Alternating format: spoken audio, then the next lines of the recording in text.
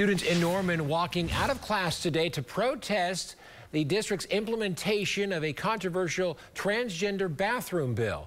News 9's Felice Romero spoke to the student at the center of it all. Felice. Yeah, Carl, the student tells me she's been using the woman's bathroom for years with no issues. It wasn't until this year that she started getting in trouble.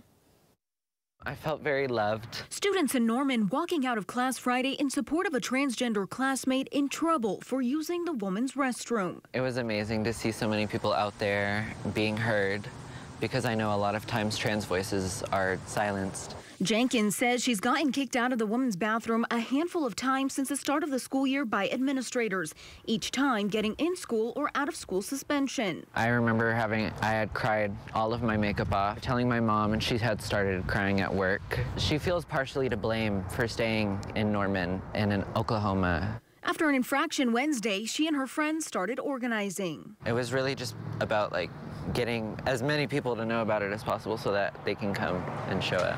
The district tells us legally they can't disclose information about a student's discipline, but they try to work with students and have single-use restrooms for any individual. I wish they would speak to us and have a conversation with us and understand why and learn why this can cause so many mental issues. The student at the center of it all standing her ground. It's upsetting because I feel like I shouldn't have to leave to make people feel comfortable. I've used the women's restroom my entire life. I came out in first grade. Jenkins standing tall with a message to her trans peers. Things are going to get better for us. Stay strong.